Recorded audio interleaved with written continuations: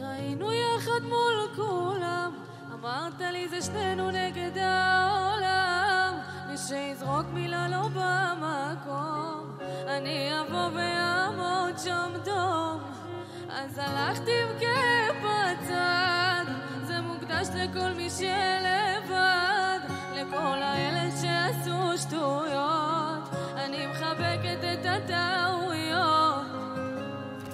רק רציתי שתדע, אני על כלום לא מצטערת, זה הפך אותי חזקה.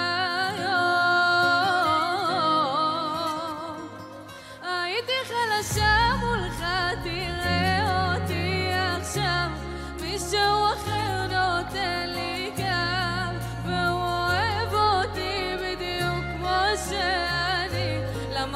לראות טיפה מעבר, אני לא תמיד אשמה, אני כבר לא חוזרת שוב לסרט איתך.